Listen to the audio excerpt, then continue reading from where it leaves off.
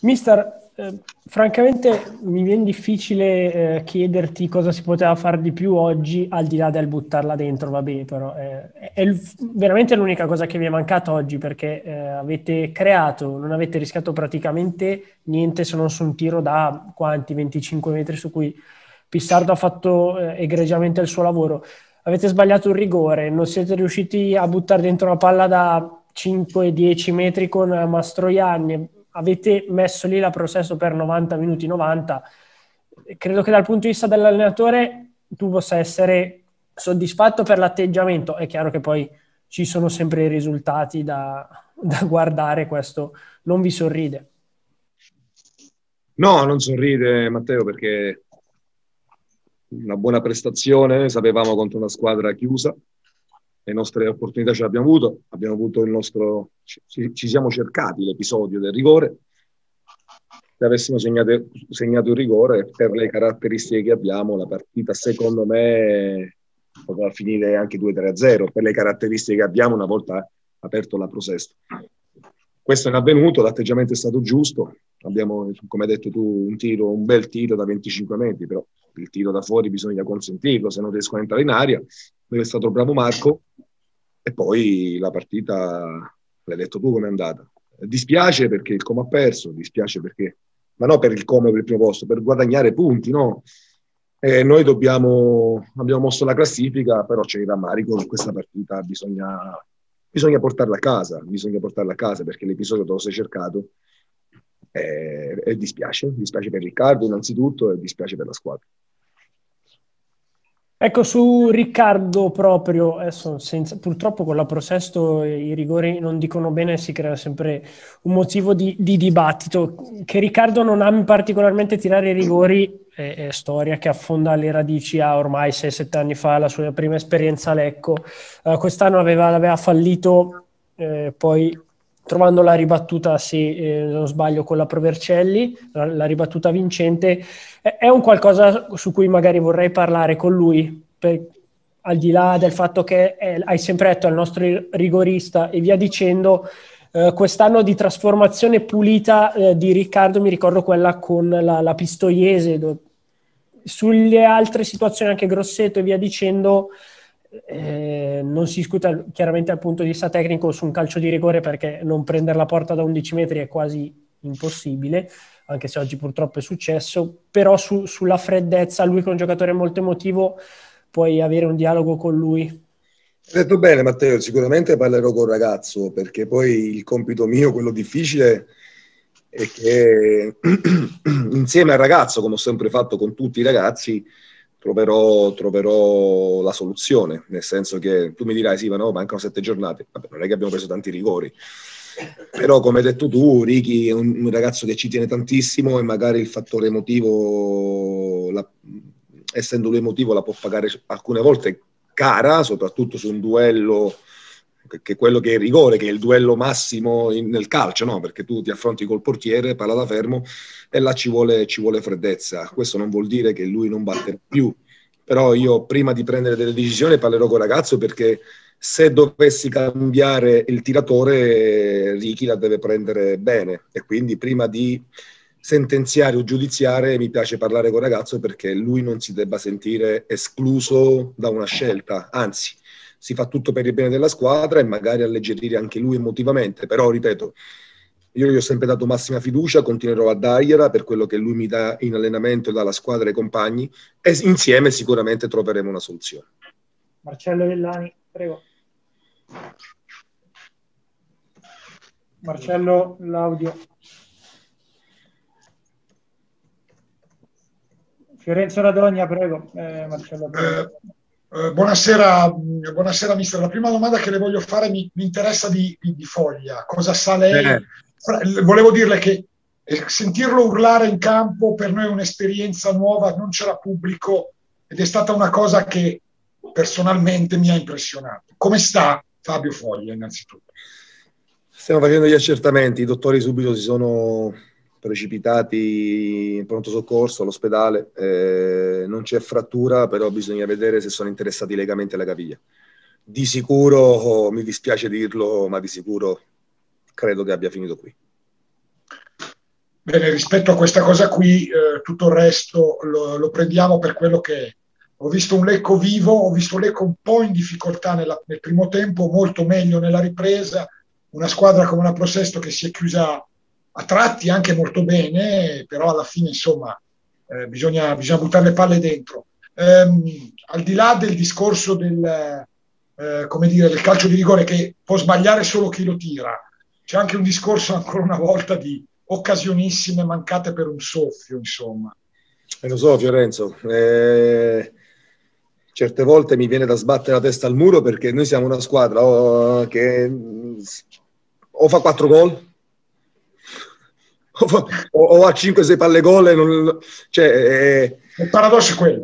Eh, capito, quindi ripeto, non, eh, io dico sempre ai ragazzi, l'importante è arrivarci. Questo l'ho detto all'inizio stagione, l'ho detto a metà, adesso le occasioni mancate pesano. Perché non è che hai le partite cominciano a scemare, no? Eh, noi siamo, abbiamo perso, non dico, alcune volte abbiamo perso de- con punti per nostri demeriti. Oggi, oggi col Grosseto abbiamo perso punti perché ci vuole quella cattiveria, quella voglia di che anche se non prendo, non faccio gol, l'avversario si deve... Cioè, capito? Poi trovare le parole giuste, no, perché magari non, non si riesce a caldo, eh, però vi posso dire che l'amarezza di questa partita, di quella del Grosseto, l'amarezza è tanta. L'amarezza che si deve, si deve trasformare perché abbiamo anche il tunnel settimanale da, da recuperare contro la Pergolettesa, abbiamo una partita in meno rispetto alle altre, però sono, sono, punti purtroppo che bisogna essere realisti, pesano, pesano, pesano perché noi Grosseto e Prosesto potevamo avere quattro punti in più. E i ragazzi devono prendere considerazione che nessuno, poche volte ci hanno messo in difficoltà e noi, per, noi perdiamo punti. Io ho sempre detto ai ragazzi, noi possiamo perdere solamente con noi stessi. E stiamo perdendo punti per, non dico per colpa, però stiamo perdendo punti per, eh, per qualche difetto nostro, non per meriti dell'avversario. Marcello Villani, ritorno da te. Grazie. Grazie a te. Ok. Sì, mister, il primo tempo a me non è piaciuto, credo che sia un po' abbastanza obiettivo che non riuscissimo a trovare il bando, lo abbiamo rischiato anche di prenderlo al di là di Marchesi, che quello sì, quei tiri bisogna concederli di sicuro. Invece nel secondo tempo, beh, l'infortunio di Foglia credo abbia condizionato tutti, è stata una cosa terribile, anche i giocatori che sono uomini eh, di sicuro risentono di quelle cose. Nel finale, quando probabilmente un po' di preoccupazione era scomparsa, il Lecco ha rischiato di vincere. Però siamo sempre lì, non riusciamo, quando le partite non si sbloccano e si vedono, non riusciamo a trovare altre soluzioni. No, non sta a me eh, stabilire quali, però. Eh beh, la, eh, tu mi fai la stessa eh, considerazione quando incontriamo quando, le piccole e io ti devo rispondere sempre alla stessa maniera. Cioè, eh, giochiamo a ping pong certe volte su, quando noi, la, noi la, le occasioni le abbiamo avute, abbiamo avuto la possibilità di sbloccarla. Io cosa posso, cioè onestamente, ma non per lavarmi le mani perché io sono sempre il primo responsabile. Quando tu prepari una partita, hai delle occasioni, hai l'opportunità di vincere, cioè, l'episodio noi l'abbiamo trovato contro una squadra che aveva messo noi il pullman, pullman, treno e nave. Quindi eh, abbiamo rischiato nel primo tempo su un tiro da 30 metri io vorrei prendere tu, ogni domenica un tiro da 30 metri. Abbiamo anche il portiere che è bravo, poi non lo so, non so cosa risponderti. Ti ripeto, io su questa vicenda ti posso dare ragione perché i fatti dicono questo, però noi l'episodio ci siamo cercato, abbiamo potuto vincere la partita, abbiamo avuto altre occasioni. Se poi non la butti dentro, 1-0 per te. Cioè per te, eh, perché altrimenti ti rispondo sempre la stessa cosa. Mm. No, eh, la cosa che mi è parsa... Poi le soluzioni le ho cercate perché siamo passati l'ultimo quarto d'ora a 4-3-3. Quindi non è che posso mettere tre uomini e sostituirne e giocare in 14. Ho cambiato assetto tattico per avere più ampiezza sulle fasce due contro uno. Siamo riusciti, ho messo Nando perché loro si erano schiacciati e quindi mi serviva uno rispetto a Riccardo bravo nelle sponde di testa e soprattutto bravo perché lo ha fatto bene Nando che poteva pure far gol. Eh, ho cambiato Azzi per mettere Masini che, e, e avere parità numerica a centrocampo. E avere ecco, ecco questo. Eh, io questo l'ho fatto.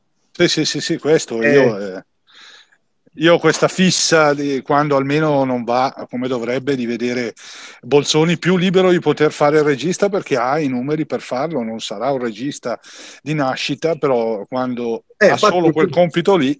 L'ultimo eh, quarto d'ora l'ho messo lì. Sì, ho, messo lì ho messo un giocatore muscolare come Masini, soprattutto nella transizione, ho aperto...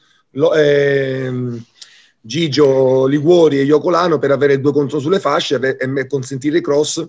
È capitata quella palla andando sulla retta piccola. Eh, mi è sembrato andare meglio, insomma, ecco, sì. Sì, ma infatti non è che eh, quando uno cerca di trovare delle soluzioni per vincere la partita e poi non si butta la palla dentro, che, che,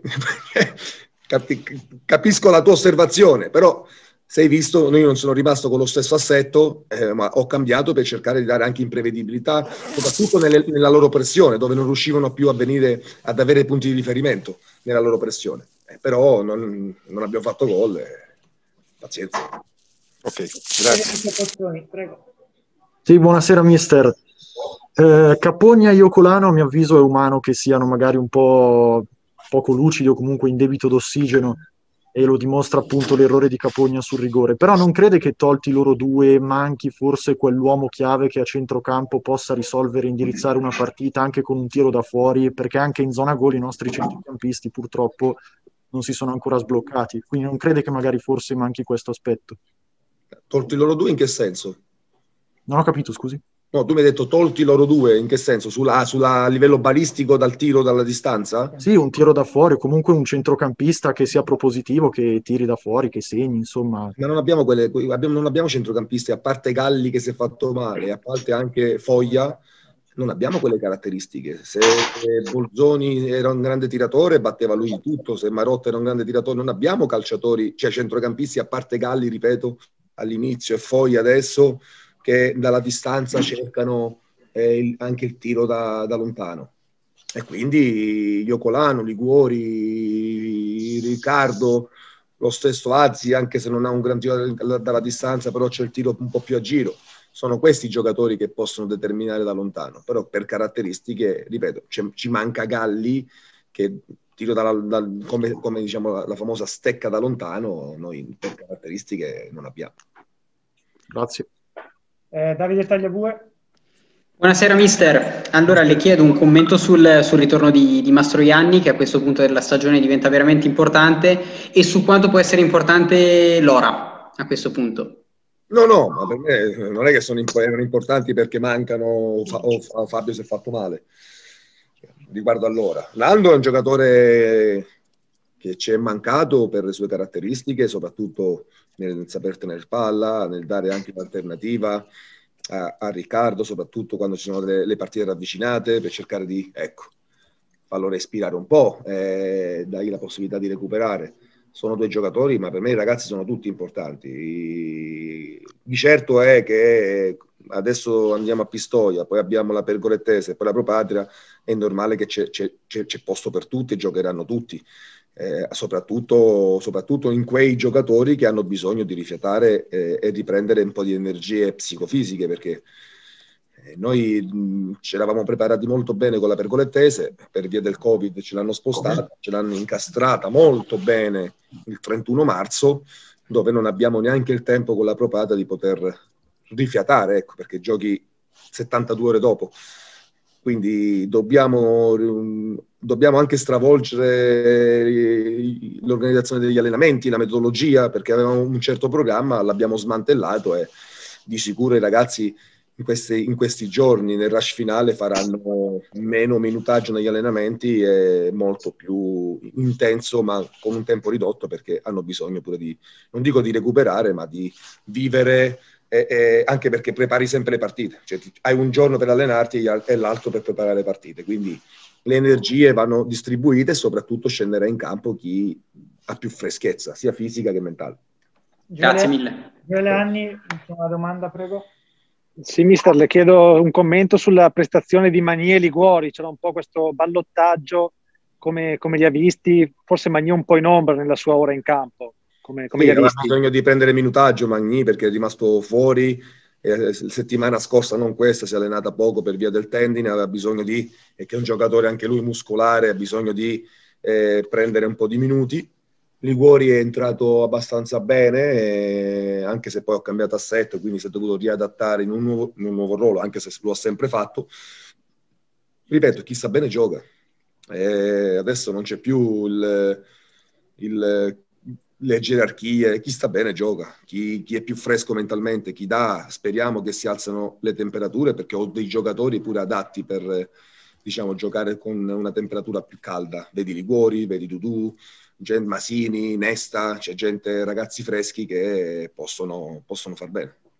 Il primo tempo decisivo in due occasioni almeno, mi ricordavo una terza ma adesso non mi sovviene, quella del centrocampo su Marchesi, quella su Gattoni e poi e quella, e quella su calcio d'angolo, sì. Insomma, eh, San Pissardo ora pro nobis. No, San Pissardo no, nel senso, cioè, eh, secondo me abbiamo fatto una buona gara, diciamo io sono stato un po' più impegnato del solito, però ricordo che noi subiamo secondo me pochi tiri in porta partita, oggi c'è stato un po' più bisogno di me, però nel senso secondo me abbiamo gestito bene, cioè diciamo comunque i loro tiri in porta sono venuti uno da metà campo, va bene, è stato bravo, sono stato bravo io, però comunque sono stati, cioè un tiro un po' fortuito, Il, anche l'altro tiro comunque da 30-35 metri eh, quindi diciamo che sono stato, mi sono fatto trovare pronto, però secondo me la difesa oggi ha interpretato ottimamente la gara perché a parte quelle due occasioni che comunque detto, da distanza siderale eh, nessuno si aspettava un tiro da lì, comunque a, diciamo nei 20 metri, nei 15 metri ha concesso veramente poco e niente. Ecco. Ecco, la seconda domanda invece riguarda il fatto che insomma questa volta l'Ecco che costruisce di solito 4-5 occasioni a gol, poi come col Grosseto magari le sbaglia, però le costruisce, ha avuto rigore occasionissima e poi poco alto, mi ricordo mi pare Iocolano nel finale sotto la traversa e lì è stato sfortunato l'Ecco. La sfortuna diciamo non, è che... Cioè incide, ma la sfortuna e la fortuna te la crei, diciamo, io sono convinto di questo. Noi, come al solito, eh, si sa che soffriamo un po' le squadre che si chiudono e ripartono, perché cioè, comunque la Prosesto è venuta qua, ha fatto ottimamente quello che doveva fare, si è chiusa e è ripartita. Noi abbiamo fatto fatica, diciamo, a scardinare la loro difesa e sono cose che, cioè, in Serie C, ma non siamo solo noi, eh, è questo che voglio dire, cioè, tutte le squadre fanno fatica contro, diciamo, un po' che sono più dettate al gioco dal basso, al possesso palla, fanno molta più fatica con queste squadre. Eh, noi quest'anno abbiamo diciamo, questo problema e eh, dobbiamo cercare di risolverlo perché ormai mancano comunque otto partite e eh, diciamo dobbiamo cercare di fare più punti possibili per arrivare a fare, cioè ad arrivare a un piazzamento di playoff abbastanza alto per giocarli così almeno in casa. Ecco. Matteo Bonaccino. Ciao Marco, il mister ha parlato, ehm, senza girarci troppo intorno, di un po' poca cattiveria, magari non parlava chiaramente della difesa, ma eh, magari nelle situazioni importanti sotto porta negli ultimi 20 metri che eh, siete stati bravi, a mio parere, a, a occupare con la Prosesto, soprattutto nell'ultima mezz'ora. Eh, cosa ne pensi? Tra l'altro penso che il portiere eh, dalla propria visuale pensi sempre che l'attaccante possa fare di meglio. No, allora, non, non, penso che possa fare di meglio, però sono d'accordo con te che oggi comunque, eh, nonostante eh, noi abbiamo questo problema con eh, le squadre che si chiudono, noi abbiamo fatto nel primo tempo un'ottima partita, secondo me, perché abbiamo mosso bene palla e anche nel secondo, perché loro cioè, comunque facevano fat- loro solo mh, buttavano la palla lunga e speravano succedesse qualcosa. Comunque noi l'abbiamo mossa, per muoverla l'abbiamo mossa bene, però è anche vero che effettivamente abbiamo creato poco, eh, cioè siamo, abbiamo creato tanto, ma siamo arrivati poco al tiro. Perché comunque se tu guardi le occasioni create ne hai avute, cioè sei arrivato sempre eh, negli ultimi metri, è mancato una volta l'ultimo passaggio, una volta la deviata al difensore, una volta è uscita. Eh, diciamo che ci è mancato quello, ecco, io non so se poi sia cattiveria o meno, questo lo sa il mister e lui che prende le decisioni, però io sono convinto che oggi comunque, secondo me, rispetto alle altre partite che magari facevano fatica proprio anche gio- nel gioco, oggi il gioco secondo me c'è stato perché effettivamente abbiamo creato, abbiamo mosso bene la palla e solo che siamo arrivati poco alla conclusione perché questo è un dato di fatto, quindi è innegabile. Ecco. Dopodiché guardo, uh, guardo il, uh, il, rendimento delle ultime partite. A Novara uh, avete perso male, però um, diciamo vale per me un po' come Piacenza all'andata, un, un, ostacolo che avete preso in faccia e ci può stare in un percorso lungo come quello di un campionato. E poi due pareggi di fila molto diversi, sicuramente per come la vedo io con Grosseto e, e Prosesto appunto oggi. Quindi diciamo che ultimamente il calendario e i risultati che avete ottenuto non penso vi facciano comunque stare particolarmente tranquilli. No, allora guarda, sicuramente non siamo agitati perché adesso io non so dati alla mano, però mi sembra che abbiamo perso una partita nelle ultime eh, 11, 11, 14. 14? Ecco, ditemi una squadra che ha perso ah, una partita nelle ultime 14 e poi voglio, cioè, la Provercelli penso sia l'unica, non, non, ne trovo altre. È vero, abbiamo fatto due pareggi, però può succedere in un cammino, in tutto un campionato. Però mi sembra, cioè io sono molto contento perché una sconfitta in 14 partite per una squadra come noi mi sembra, cioè, non puoi essere arrabbiato. Nel senso, è vero, potevamo vincere Grosseto, potevamo vincere oggi, però comunque non hai perso. E questi alla fine sono punti che ti ritrovi. C'era Marico, però sicuramente non si può parlare di essere di non essere tranquilli perché mi sembra da fuori di testa, ecco, questo voglio dire. Fiorenzo Radogna, prego.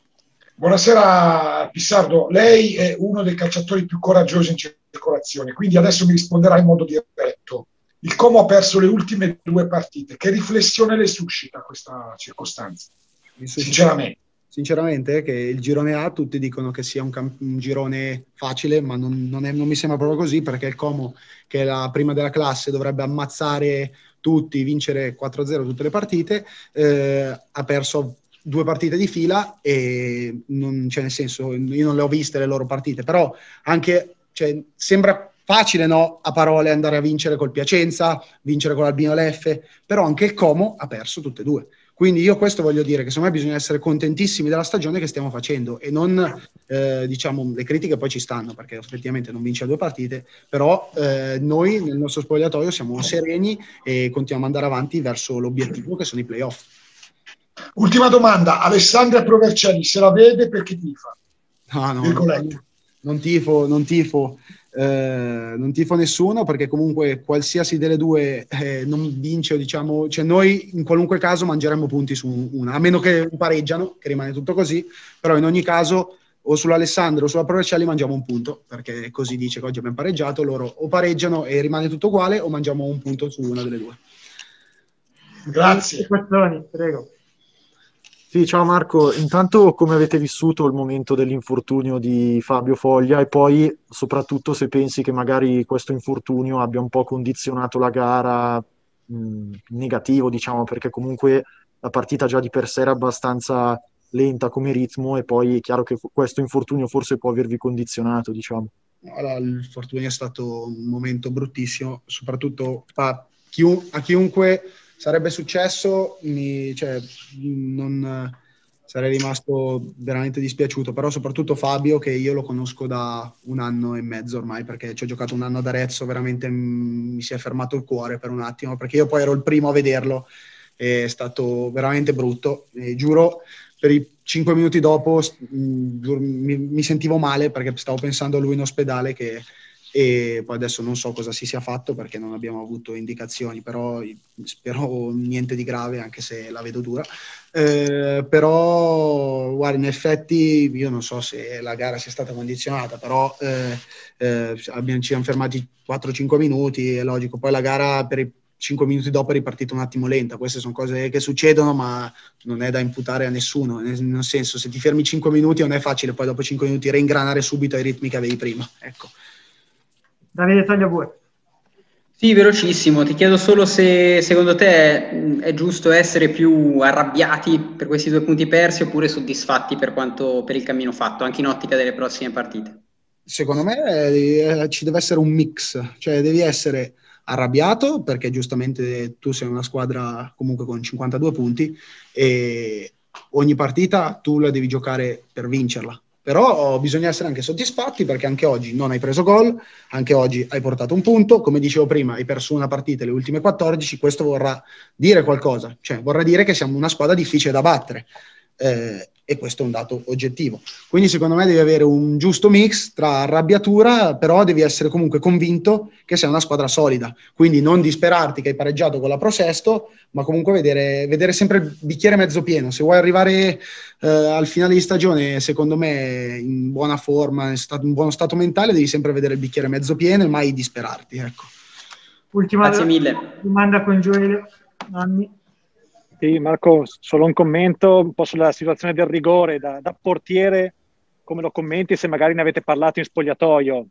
Ha parlato. Io a Riccardo ho detto solo una cosa, ho detto che i rigori li sbagliano in Serie A, li sbagliano in Champions League, li sbagliano in Mondiali. Sicuramente un errore su rigore ci sta e non, di certo non pregiudica il campionato di un attaccante come lui che ci sta dando una mano enorme per i gol, ma non solo per i gol, ma per tutto quello che sta facendo per quest'anno.